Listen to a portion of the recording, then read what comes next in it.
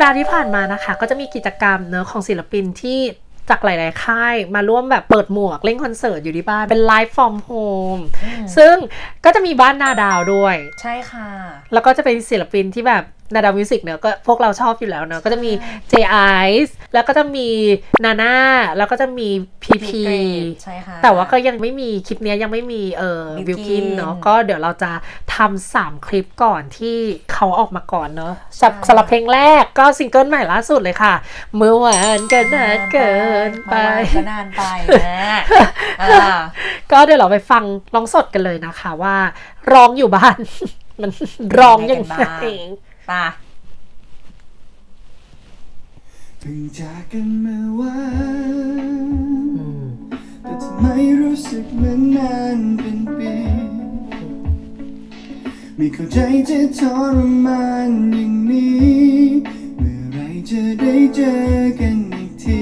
เฝ้ามองดูเข็มนาฬิการ้องดีนะเนี่ยทำไมถึงเดินช้าอย่างนี้ก็แอบคิดโอ้ ดีไดนามิกดีรู้สึกเท่ากันจะคงไม่ทรมันต้องมีคอรัสไง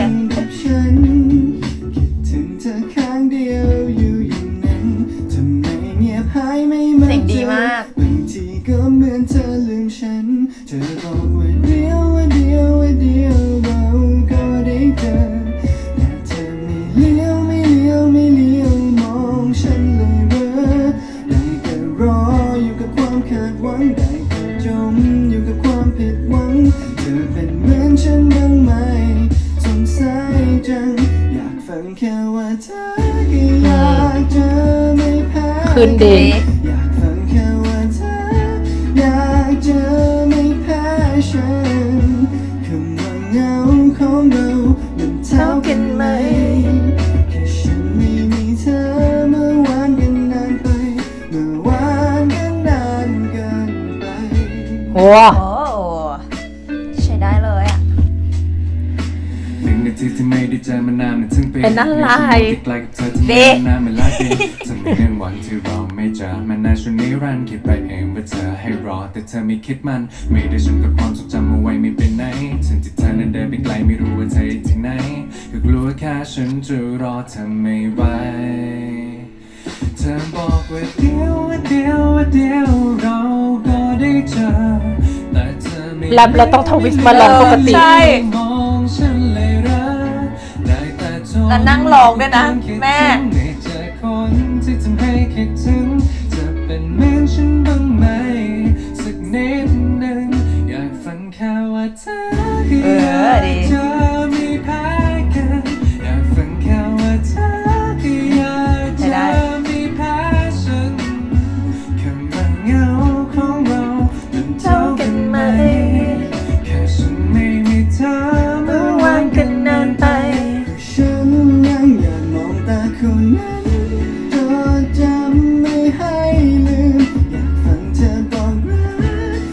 รักร้องกันดีเหลือเกิน เออคื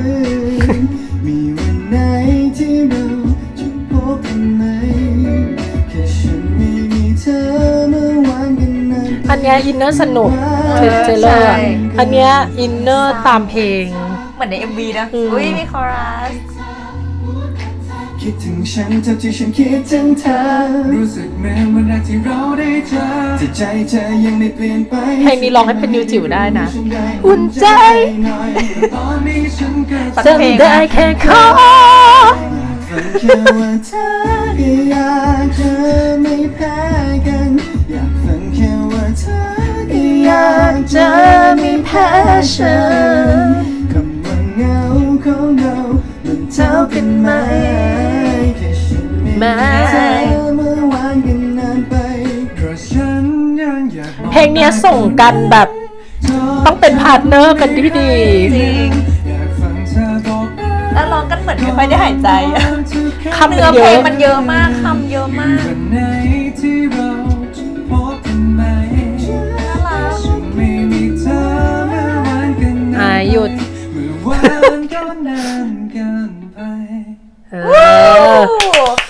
อ wow ครับผมก็ขอบคุณทุกคนนะครับที่ติดตามเปิดหมวกเฟสติวัลนะครับผมแล้วก็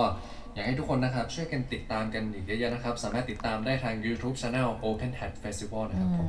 เปิดหมวกผมเฟสติวัลแล้วก็สำหรับใครที่อยากจะสนับสนุนนะครับผมอุ้ยปิดไปเลยเหรอช่วยเหลือกันได้นะครับผมตามบัญชีที่ขึ้นที่หน้าจอนี้เลยนะครับผมก็จะเป็นการช่วยเหลือพี่ๆศิลปิน แล้วก็พี่ๆทีมงานทุกคนกับโครงการนี้ด้วยนะครับผมก็อยากจะฝากไว้ด้วยนะครับน่ารักเหลือเกิน อะ เพลงแรก เมื่อวานก็นานไป ได้ฟังสดๆเลย ได้เห็นลายร้องชัดขึ้นนะ เพราะว่าตอนนั้นในเพลงอะมันมีความแบบ ใน studio version อย่างที่เราเคย react ไปอะเรารู้สึกว่าบางช่วงอะเสียงเจก็เริ่มเหมือนได้เออก็เลยแบบได้มาเห็นลายกันชัดขึ้น แล้วก็รู้ว่าเพลงเนี้ยสิ่งที่ยากเลยคือลม control ลมยังไงก่อน เพราะว่าคำมันฉับฉับฉับมันเหมือนมันเยอะมาก มันเหมือนเพลงหนึ่งที่เขาลอง cover กันตอนนั้นในลาเซ c ชันแล้วฉันทักเขาอะคนไกลปะเออน่าจะ something น่าจะเป็นเพลงใช่เป็นเพลงยุคเนี้ยใช่ที่มีแรปที่มีด้วยแรปอะเพลงคนไกล มันคำมันขบมากใช่แล้วมันคือท่อน verse ปกติอะเนื้อมันเยอะ เยอะจนเหมือนจะแรปแล้วอะ เออ มันแทบจะไม่ใช่เพลงทั่วไปแล้ว มันแทบจะเป็นเป็นนะเลยเพลงแรปทั้งเพลงแล้ว แล้วความยากก็คือแรปเสร็จร้องต่อเลย อันนั้นไอซ์เจเลอร์แต่จะบอกว่าลมอะ ตอนไอซ์ร้องอะ เราว่ามันยากมากแล้วอะสำหรับแบบปกติที่จะต้องร้องแล้วต้อง control ลม แล้วนางอะก็ dynamic ดีมากไงเออส่วนในส่วนของไอซ์อะคือแบบผ่อนลมเอยอะไรเอยอืมสิ่งที่ต้องชมอีกเรื่องหนึ่งของไอซ์คือ inner อืม คือ inner อะนางอะพอเข้าถึงเพลงเสร็จปุ๊บคือคือนางร้องและ inner ไปเลยอืมเหมือนอินกับเนื้อเพลงอยู่แล้วแล้วเออการออกเสียงแล้วก็การถ่ายทอดออกมาจากเสียงเนี่ย คือมันเหมือนแบบเป็นคนเศร้าอะ คิดถึงยังเหงาอยู่อะไรอย่างเงี้ยน่ะเออใช่ผิดกับเจเลอร์ เจเลอร์มาแบบสนุกสนานใช่มาเปิดมาแรปเลยอืม เนาะแรปแบบไฟแลบเลย แล้วก็อยู่ๆก็ทวิตไปร้อง ใช่ มันมีความยากตรงเนี้ย เพราะว่ามันจะต้องเปลี่ยนเนื้อเสียง แล้วก็เปลี่ยนคีย์ด้วยเพราะว่าแรปอะมันใช้เนื้อเสียงอีกแบบหนึ่งใช่แล้วก็พอพอร้องท่อนปกติมันจะใช้เนื้อเสียงอีกแบบหนึ่งเหมือนกันใช่ อันนั้นเป็นความยากแต่ก็ถือว่าทำมาได้ดีนะแล้วก็นั่งร้องไปอีก เออแล้วนั่งนั่งร้องไงแล้วท่อนฮุกแล้วที่คำก็ต้องขึ้นขึ้นเสียงสูงนางอย่าก็ฟังทำได้ดีว่าเธอใช่นางก็ทำได้ดีในขณะที่นั่งอยู่ฉันก็แบบ ทับใจในตัวเมนของฉันอะไรอย่างเงี้ยเพลงนี้ก็ถือว่าทั้งสองคนทำออกมาได้ดีมากนะ เป็นการไลฟ์แบบไลฟ์จริง ๆ ต้องะบอกว่าเสียงไม่ได้จูนเลยอืมคือมาแบบมาสดแบบสดจริงๆใชอะ่เออฉันประทับใจในความสามารถของสองนางร้องใจดีร้องร้องดี แล้วพร้อมขึ้นโชว์ต้องบอกก่อนอ่าใช่ว่า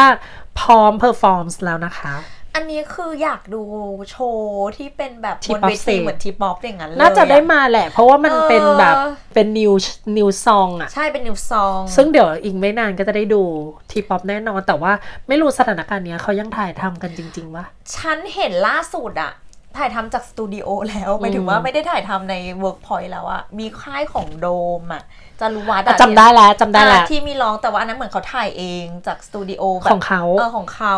เหมือนกับว่าช่วงนี้น่าจะถ่ายลำบากแหละใช่อาจจะเริ่มทำเป็นเหมือนรายการฝรั่งแล้วที่เหมือน BTS ต้องส่งไปให้รายการอะไรแบบนั้นแล้วอะแต่มันก็ต้องดูอารมณ์มุมกล้องนั้นเหมือนแบบอืมทีมงานฝั่ง Workpoint ก็ต้องช่วยดูอะไรอย่างเงี้ยใช่ปะก็อารมณ์นั้นเพราะว่าช่วงนี้มันรุนแรงจริงเนาะเขาคงถ่ายทำยากก็รอดูเดี๋ยวรอ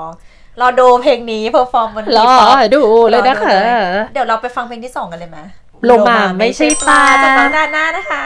คิดถึงวะคิดถึงอะ คิดถึงน้องอ่าไปสวัสดีค่ะนาน่ารัน่ากจัจางกนาดาวมิวสิกนะคะ เหมือนน้องสาวแกเลยอะ ก็รู้ใครๆก็มองว่าเราไม่ใช่เพื่อนกันไม่ต้องมีมงมีไม้ด้วยนะร้องสดไม่มีเธอต้องเจอฉันตลอดเลๆยเสียงน่ารักมากยอมรับว่าใน เฮ้ยน่ารักเหมือเรามีกันจนฉันคงไม่เฮ้ยเสียงน้องน่าดีมากเลยอะ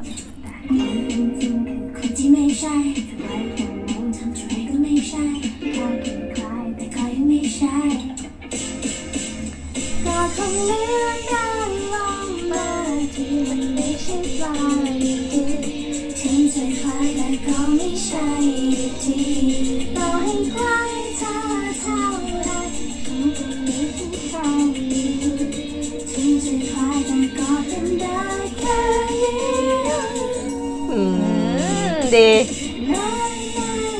นน้องเพอร์ฟอร์มแบบสดๆเลยนะแบบโชว์ปังๆอะบนเวที โชว์เต็มรูปแบเอบ อเออเออต้องมีเพลงใหม่แล้วปีนี้ เป็นเสือไม่ใช่คน อังกอร์ไม่ใช่คน งงแล้วนะ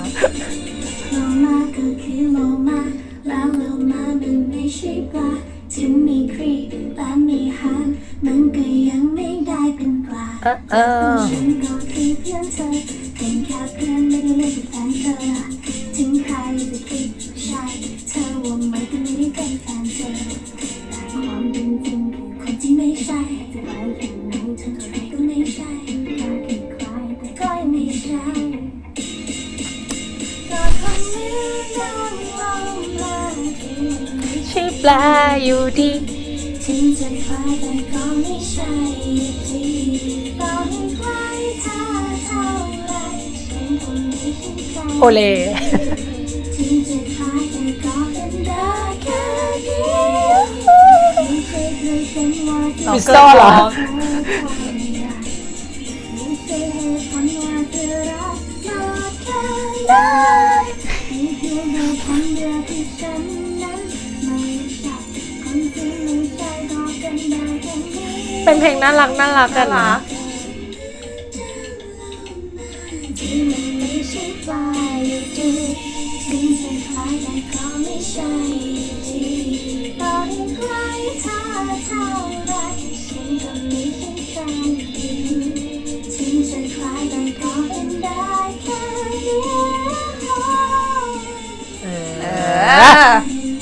น่ารักน้องอะเรามามันไม่ใช่ปลา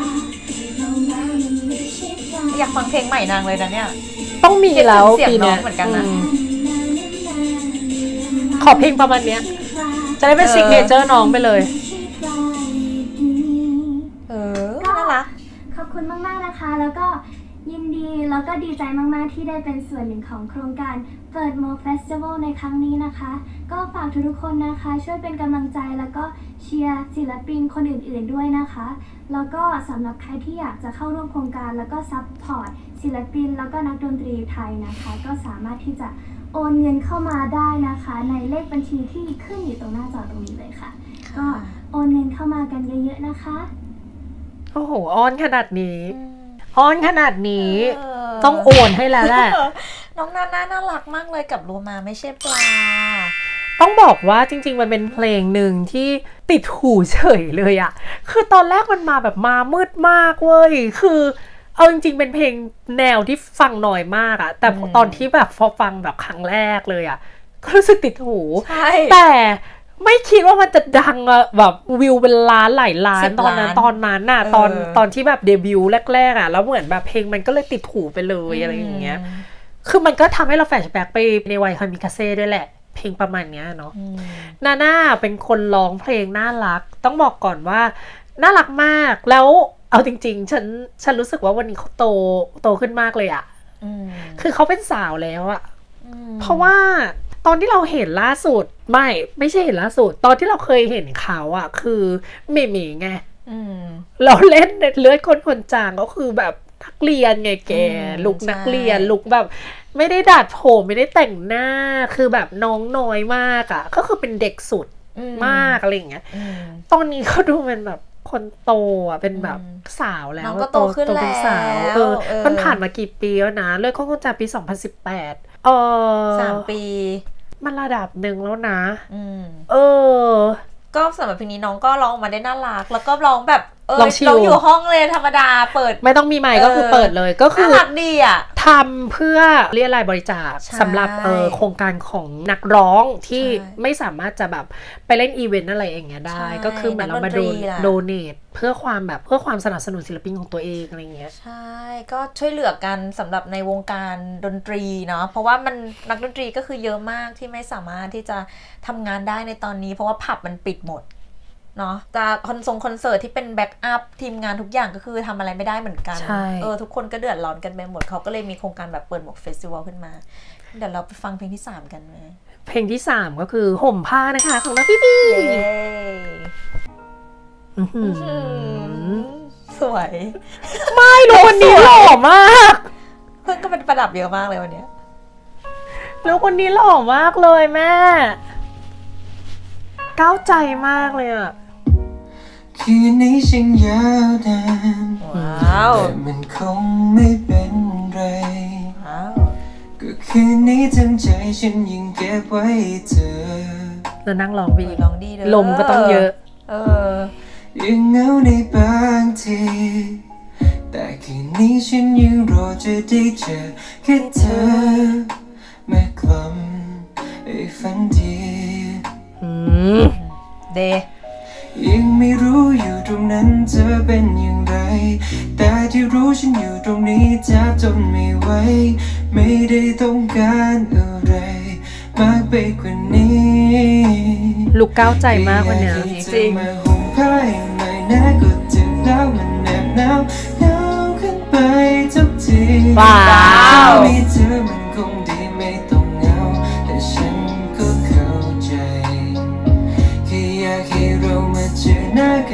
หน่อยนะในคืนนี้ที่ไว้ว่าเธอนั้นอยู่ที่แห่งไหนฉันยังรอให้เธอมาบอกฝันดีร้องเหมือนในสตูดิโอเวอร์ชันเลยอะอืมจริง ก็พอจะรู้เธอคงไม่ว่างรอให้เธอพร้อมค่อยมาเคียงข้างห่างกันนิดเดียวหันมาก็เจอ ยังไม่รู้อยู่ตรงนั้นเธอเป็นอย่างไร แต่ที่รู้ฉันอยู่ตรงนี้แทบทนไม่ไหว ไม่ได้ต้องการอะไรมากไปกว่านี้แค่อยากให้เธอมาห่มผ้าให้หน่อยนะก็เจ็บแล้วมันแนบหนาวเหงาขึ้นไปทุกทีถ้ามีเธอมันคงดีไม่ต้องเหงาแต่ฉัน หน้ากันหน่อยนะในคืนนี้ที่ไว้ว่าเธอนั้นอยู่ที่แห่งไหนฉันยังรอให้เธอมาบอกฝันดีอืมหางเสียงสวยตลอด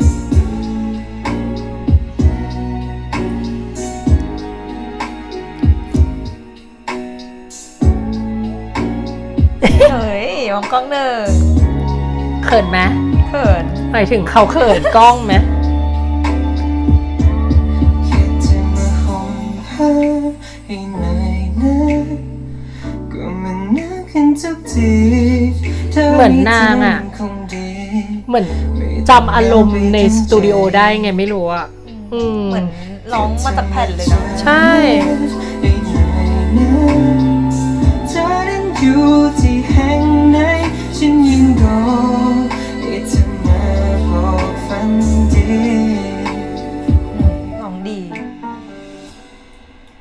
สวัสดีครับ พีพีกฤษฏ์นะครับ จากนาดาวมิวสิกนะครับ ก็ฝากทุกคนนะครับ ติดตามแล้วก็ support เปิดหมวกเฟสติวัลนะครับ นอกจากพีแล้วก็ยังมีศิลปินท่านอื่นๆอีกมากมายเลยนะครับยังไงก็ฝากติดตามด้วยนะครับ ขอบคุณนะครัโอนเลย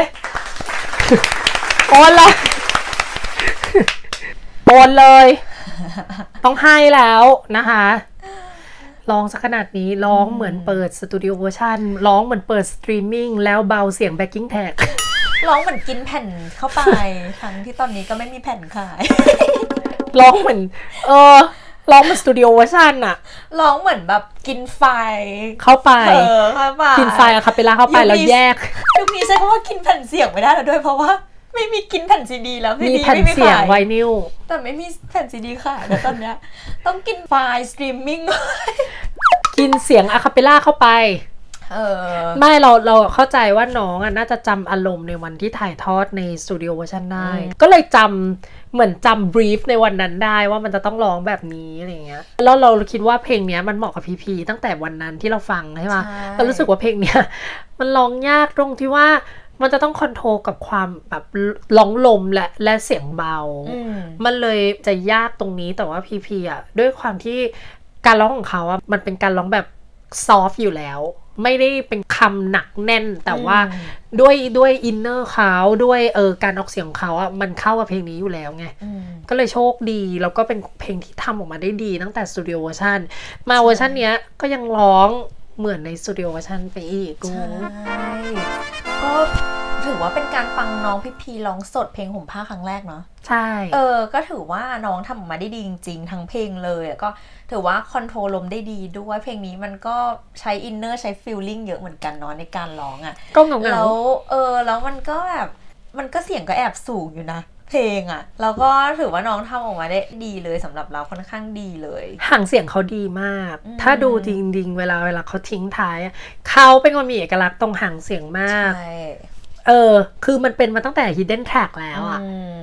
ตั้งแต่วันนั้นที่เขาโชว์บนแบบ LINE TV จนมาถึงวันเนี้ยห่างเสียงเขายังเป็นเหมือนเดิมอืมเอกลักษณ์เขามันชัดเจน มีความเป็นเสน่ห์แบบลูก ad-lib ของเขาเรียกว่าอะไรลูกคอออืมเราจะบอกว่ามันไม่ใช่ ad-lib ขนาดนั้น แต่มันเป็นลูกคอที่เหมือนแบบเหมือนไต่โน้ตเล่นอะเหมือนเป็นการเอื้อนอะเออมันคือการเอื้อนมใช่เป็นการเอื้อนที่เหมืเป็อนนเอกลักษณ์เฉพาะตัวของเขาเหมือนอะมันกำลังจะทวิสต์แบบ เออเออเขาเรียกอะไรมีอะไรให้เล่นอะไรอย่างเงี้ยเออในเออเสียง เล่นคำนิดนึง you you แต่เขาจะเป็น you แบบชัดอะเอออะไรอย่างเงี้ย you ที่แห่งไหนอืมันจะเป็นเหมือนแบบยูที่แกเป็นคนร้อง แกเป็นคนมีเขาเรียกว่าอะไรลูกเอื้อนแบบนั้นเหมือนกันเออใช่อืมคือเป็นคนที่เขาเรียกว่าอะไรอะ มันเป็น มันเป็นกิมมิคของความสามารถพิเศษบางคนอะไรเงี้ย กิมมิคของแต่ละคน เพราะว่าบิลกินก็ไม่ได้มีเออลูก เอื้อนแบบนี้เหมือนกันอืมบิลกินก็ไม่มี ใช่ อืมดีค่ะสำหรับทั้ง 3 โชว์เลยสำหรับเปิดหมวก festival จากศิลปิน Nadao Music นะคะ ก็เจไอซ์เนาะน้องนาน่าแล้วก็พีพี กฤษฏ์นะคะทำออกมาได้ดีมาก ๆ เลยอืมขอประเมินทุกคนก่อนแล้วก็อยากให้ทุกคนที่ดูแล้วก็พอจะมีแรงช่วยสนับสนุน support ได้ให้กับนักหนึ่งดตรีบาทก็นะคะช่วยแล้วหนึ่งบาทเออกี่แสนคนก็เป็นแสนแล้วใช่กับ เอ่อเปิดหมวกเฟสติวัลนะคะอืมณจุดนี้เราทุกคนก็ช่วยกันเองอะเนาะเออณตอนนี้นะ ถ้าใครพอใช้ได้ก็ช่วยไปนะคะ ถ้าใครช่วยไม่ได้ก็จริงๆก็ไม่เป็นไรนะ เออถ้าแบบเราช่วยแล้วเดือดร้อนเราอะไม่จำเป็น แต่ว่าถ้าใครช่วยได้ก็ช่วยะไรคือณเงี้ยวันเนี้ยที่เขาเอามาเปิดหมวกมาเพราะว่าเอ่อรัฐบาลไม่ได้มีอะไรสนับสนุนในเรื่องของการเยียวยาใช่ของอาชีพเดี๋ยวทุกคนจะใช่งงว่ามันใช่หน้าที่เหรออะไรเงี้ยใช่อืมมันไม่ใช่หน้าที่เลยค่ะ แต่ว่าเออด้วยความที่เขาไม่ได้มีงานมา 2 ปีแล้ว นี่เข้าสู่ปีที่ 2 และอาจจะเข้าสู่ปีที่ 3 แล้วใช่ไม่รู้ว่าดาราจะไหวไหมกับอาชีพนี้แล้วด้วยซ้ำอืมก็ใช่มันไม่ใช่หน้าที่หรอก แต่เพียงแค่ว่า วันนี้เราจะต้องอยู่ยังไงให้รอดกับอาชีพนี้ เพราะว่าเขารักในเสียงดนตรีเขาก็ไม่อยากจะทิ้งอาชีพของเขาไปอะอืมคือเขาไม่อยากจะทิ้งเพื่อนร่วมอาชีพด้วยกันเองด้วยแล้วเขาก็เข้าใจว่าเขาจะหาเลี้ยงอาชีพด้วยตัวเองได้ไง แต่นะวันนี้แบบสถานการณ์แบบไม่โอเคอืมแล้วก็เออด้วยอาชีพนี้ก็แบบไม่ได้ขับเคลื่อนต่อด้วยใช่มันถูกหยุด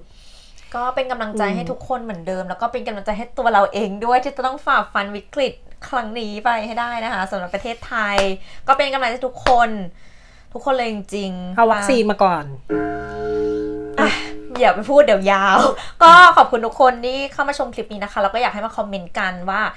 ทุกคนฟังทุกเพลงสามเพลงนี้แล้วรู้สึกเป็นยังไงกันบ้าง แล้วก็แบบคิดถึงอะไรกันบ้าง พอได้ฟังกันแล้วว่าอย่างส่วนตัวเราอะคิดถึงคอนเสิร์ตคิดถึงโชว์ อยากดูโชว์เต็มๆ ของทั้ง 3 คนเลยนะ เอาจริงๆไม่แล้ว อยากดูโชว์เต็มๆ ของ Nadao Musi c เออศิลปินของจริง Nada ๆอยากดูคอนเสิร์ต Music Nadao Music เลยเนาะเพลงมันดีหมด เออ คือถ้ามันได้อยู่ในคอนเสิร์ตอะมันจะต้อง wow มากเลยอะเพราะว่า production ต่างๆ หรือว่าการทำโชว์มันน่าจะออกมาดีมากแต่ตอนไงเนี้ยวิวต้องเยอะกว่านี้ก่อนก็อยากฝากทุกคนให้สนับสนุนเพลงของ Nadao Music นะคะเพลพี่งจ๋าล่าโทษนะสุดใช่ เพลงล่าสุดเมื่อวานก็นานไปของ j a i l e r Ice Paris เนี่ยเดี๋ยวดีมาก ๆ แต่ว่าตอนนี้ยอดวิวยังไม่ถึง 5 0 0แสนเลย ก็อยากให้ทุกคนไปช่วยปั่นวิว ไปฟังกันเยอะๆใน YouTube นะคะ เพราะว่าเพลงดีมากจริง ทุกรายละเอียดทุก detail มันแบบดีมันทำากไมมันฟังยากตรงไหน มันก็ไม่ยากแล้วนะ ไปฟังเอาพอไปฟังกันเยอะๆนะคะ ไปปั่นวิวกัน เพราะว่าอยากให้คนแบบ ช่วยสนับสนุนผลงานดีๆไงเพลงดีๆอะไรไม่อย่างมันงี้ยเป็นมาตั้งแต่แบบนานมากแล้ว มันเป็นอย่างนี้กับศิลปินนาดาวมิวสิกมานานแล้ว มันแปลก มันแปลกก็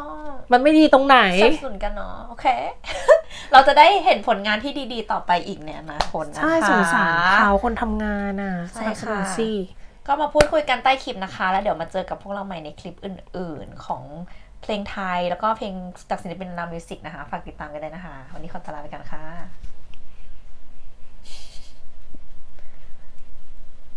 ขขอบคุณทุกๆคนที่เข้ามาชมคลิปนี้นะคะ ฝากทุกคนกดไลค์ กดแชร์ กด subscribe แล้วก็กดกระดิ่งด้วยค่ะ